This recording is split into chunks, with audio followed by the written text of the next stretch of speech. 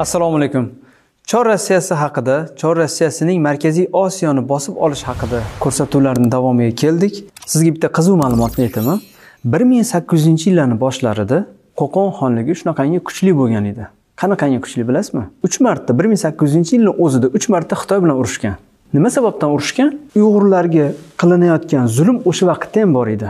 Uyg'ur musulmonlarini va uyg'ur musulmonlarini qo'lida bo'lgan hukumatni qutqarish uchun yettita shaharni borib ozod qilgan xitoyliklarning zulmidan bir ming sakkiz yuz o'ttiz to'rtinchi yilda bunchalik mard bo'lgan bunchalik kuchli bo'lgan qo'qon xonligi qanaqa qilib osongina rossiyaga mag'lub bo'lgan. Hattoki sizga bir boshqa qiziq ma'lumotni aytaman.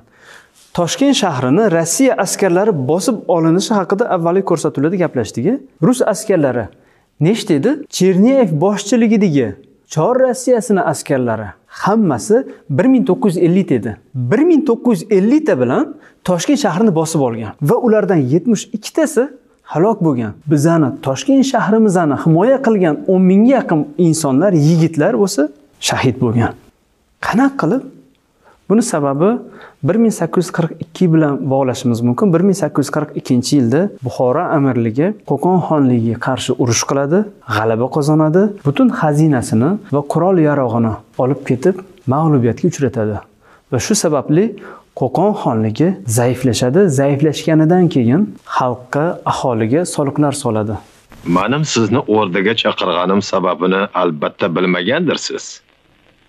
Taqsir chaqirishingiz fuqaroning tinchligi raoyoning rohati va hukumatning barqaror turmog'i uchundir. Shundoq. Yetmish kunlik qamaldan keyin xazinamiz juda g'ariblandi. Hatto sipohlarning ozig'i uchun ham qiynalib qoldik mana shu to'g'rilarida sizni kengashga chaqirgan edim hoji. Ma'qul taqsir. Men bu to'g'rida hatto qarorga ham kelib qo'ydim. Qaroringiz muborak bo'lsin. Qarorim shundan iboratki siz ertadan yurt boshiga o'ttiz ikki tangadan soliq sochasiz. Chor rossiyasining askarlari nima sababdan birinchi bo'lib qo'qon xonligiga qarshi hujumni boshlagan? Nima sababdan birinchi mo'ljali qo'qon xonligi bo'lgan? O'sha birinchi sababi zaiflashishi ikkinchi sababi bo'lsa ichki nizolar ya'ni turli xil qabilalar turli xil millatlar o'rtasidagi turli xil qavmlar o'rtasidagi ichki nizolar. San qipchoqsan san qalmoqsan deb turib. Ammo bizning kundan kunga orqaga ketishimizga o'zaro nizomiz sabab bo'lmoqda. Bu kungi qoracho'pon va qipchoq nizolaridan nima manfaat? Bundan foydalanuvchilar faqat e'vogar boshliqlarginadir qipchoqsan qalmoqsan degan bo'linishlar bor edi. Va bu bo'linishlarni amaldorlar ham sezib turardi bilib turardi va o'zi ham hissa qo'shardi. Lekin hamma amaldorlar emas. Birodarlar o'ris bizni o'z ichimizdan chiqadirgan fitna fasodni kutib darvozamiz tagida ko'z tikib yotibdir nahotki chin yog'i ishlatadigan kuchimizni o'z qo'limiz bilan o'zimiz o'ldirsak? Bu to'g'rida fikr qilg'uvchilar bormi? Bunga qarshi hozirlik ko'rib qo'yganmizmi? Siz o'z qipchog'ingiz uchun qabr qazig'an fursatda sizga ikkinchilar tobut chopadir rossiya askarlari markaziy osiyoga hujum qilishini sabablaridan biri dunyoda sanoat rivojlangan payt edi va britaniyaga nisbatan 10-15 baravar kamroq ishlab chiqarish bor edi. Rossiyada. Nima sababdan? Chunki xom ashyoni olish bor uni qayta ishlash bor. Agarda markaziy osiyoni bosib oladigan bo'lsa nima qiladi? Xom ashyoni teppa tekinga qo'lga kiritadi go'shtlarni teppa tekinga qo'lga kiritadi qorako'l terilarini tekinga qo'lga kiritadi yer osti boyliklarini yer usti boyliklarini qo'lga kiritadi va chor rossiyasi kuchayadi. Aynan o'sha davrga kelib turib bunday kuchayishga katta ehtiyoji bor edi. Chunki chor rossiyasini ichidagi aholini o'zi ham katta qismida qashshoqchilik boshlangan edi. Qashshoqchilik boshlanishining sababi yer islohotlari amalga oshirilgan va bu salbiy natijalar olib kelgan aholini mahalliy aholini o'zini rossiyani mahalliy aholisini o'zi qashshoqlashib qolgani uchun ham ularni yangi bir yerlarga ko'chirishga ehtiyoj bor edi va boshladi qo'qon xonligidan keyin buxoro amirligiga hujum qilgan. Xoh yosh bolami? Xoh qariyami? Xoh chaqaloqmi? Qarab o'tirmagan tinch aholini ham askarlarni ham tinch aholini yo'q qilgan va shu qatorda buxoro amirligini va oxir oqibat xiva xonligini qo'lga kiritgan Великая Россия пришла сюда, в Азию, чтобы из вас, сартов, сделать цивилизованных людей. Biz bu yurtga sizlarni odam qilish uchun kelganmiz deyalar. Bundan chiqdi, bizni odam qatoriga qo'shmas ekanda. Аудиенция закончена. Chor rossiyasi markaziy osiyoni bosib olganidan keyin ilk qilgan ishi temir yo'llarni olib kelish. Ya'ni temir yo'l olib kelish kerakki rossiyaga yer osti boyliklarimizni tashib ketish uchun. O'sha vaqtda temir yo'llarni qurilishiga ham hattoki o'zimizni aholimiz o'zimizni insonlarimizdan pul olgan. Qanaqasiga bilasizmi? Boylarga borar ekan sizni hovlingizdan yoki yo'lingizdan yeringizdan yoki qanaqadir joyi bo'lsa o'sha joyingizdan temir yo'l o'tarkan desa u boy nima qiladi o'sha joyini uyini yerini saqlab qolish uchun pora beradi temir yo'l boshqa joydan tushadi aniq faqatgina pul undirish uchun u boyga borib turib qulog'iga tepib pulni olishgan Oliy hazratlari. Kamina Ismoil qozi ulug' Rusiyani xizmatiga o'z jonimni fido qilishga tayyorman. Bog'larimiz, daryolarimiz, dalalarimiz, bor boyligimizni poyingizga qo'yishga rozimiz. markaziy osiyodan ketayotgan temir yo'llarda poyezdlarda yer osti boyliklarimiz olib ketilgan. Qaytayotganda bo'lsa ya'ni rossiyadan markaziy osiyoga kelayotganda bo'lsa rus xalqini olib kelgan. Shu o'rinda bir narsani aytmoqchiman. Bu ma'lumotlarni aytishim bo'lib o'tgan voqea hodisalar. Ya'ni hammamizni balki oshna og'aynimiz do'stimiz hamkasbimiz qo'shnimiz orasida rus millatli insonlar bo'lishi mumkin. Ya'ni bu ma'lumotlar bilan ularga nisbatan nafrat qo'zg'ash emas shunchaki tariximizda bo'lib o'tgan voqealarni ochiq oydin keltirish. Temir yo'llar markaziy osiyodan ketayotgan paytda yer osti boyliklarimizni paxtalarimizni qorako'l terilarimizni go'shtlarimizni olib ketgan. Qaytayotganda bo'lsa rus xalqini o'sha yer islohotlari sababli qashshoqlashib qolgan rossiyadagi rus xalqini markaziy osiyoga olib kelgan va joylashtirish boshlagan. Birinchi qilgan ishi shu. Ikkinchi qilgan ishi markaziy osiyoga joylashgan rus xalqi uchun cherkovlar qurish o'zini infrastrukturasini joylashtirish kasalxonalar qurish va shu kabi ishlarni amalga oshirgan. Uchinchi ishi bo'lsa rossiyani madaniyatini olib kelish. Bugungi kunda g'arb madaniyatidan rossiya bizni himoya qilyapti deb aytayotgan insonlar tarixga qaraylik. G'arb madaniyatini rossiya bundan 150 yil avval olib kirib bo'lgan. Bu kishi Sharnoqda xonim, bu kishining itlari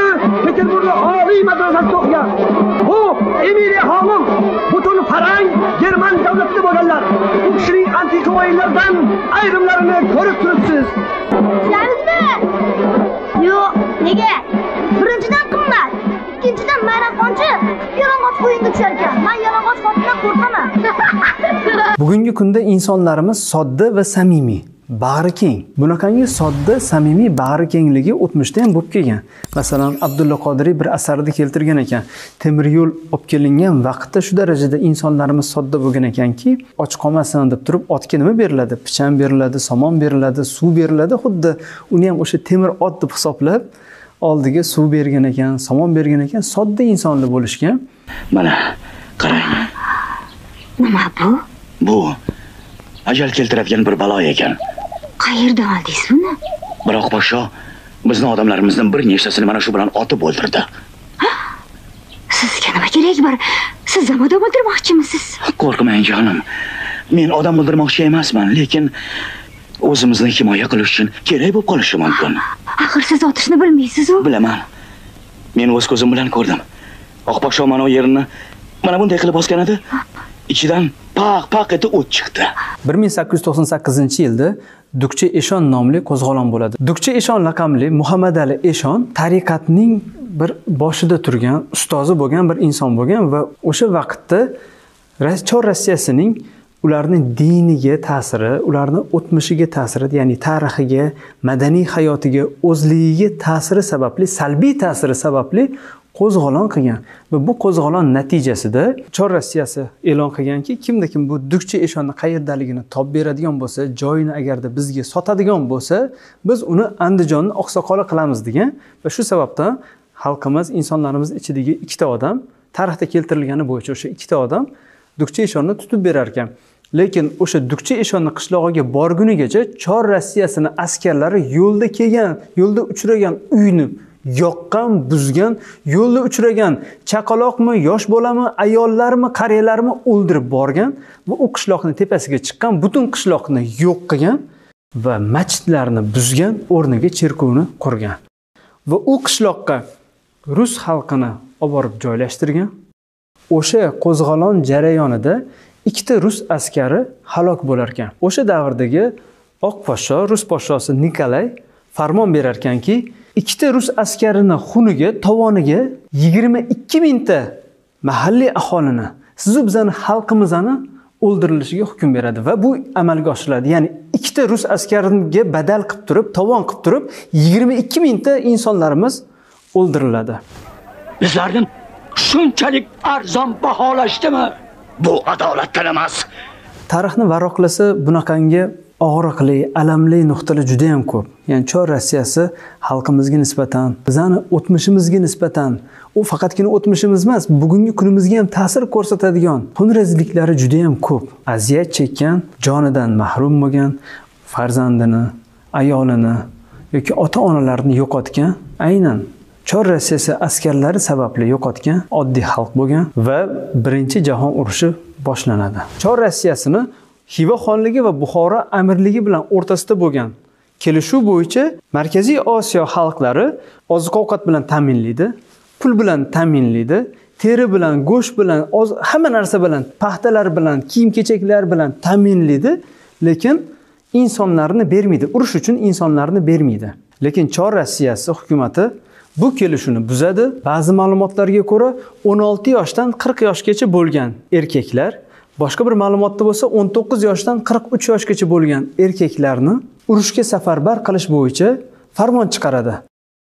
Bu farmon xalqni dard ustiga chipqon edi o'lgan ustiga tepgan edi va bu farmonga e'tiroz bildirib insonlar qo'zg'olon qiladi. Bir vaqtni o'zida bir nechta joyda qo'zg'olonlar boshlanib ketadi va bu qo'zg'olon chor rossiyasi askarlari tarafidan qirg'inbarot qilib qonli qilib to'xtatilgan.